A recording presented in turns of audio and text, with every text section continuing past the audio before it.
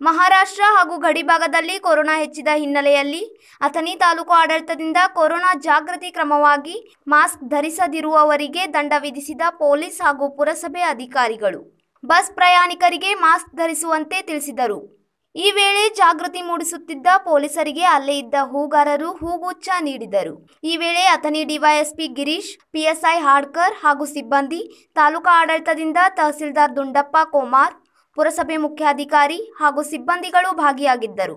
ಕಾರಣ ನಾವೆಲ್ಲ ಮಾಸ್ಕನ್ನು ಕಡ್ಡಾಯವಾಗಿ ಧರಿಸತಕ್ಕದ್ದು.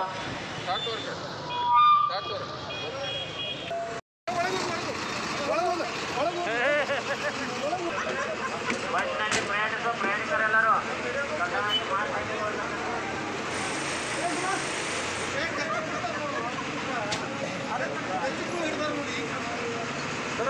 ಎಲ್ಲರೂ ಕಡ್ಡಾಯವಾಗಿ ಮಾಸ್ಕ್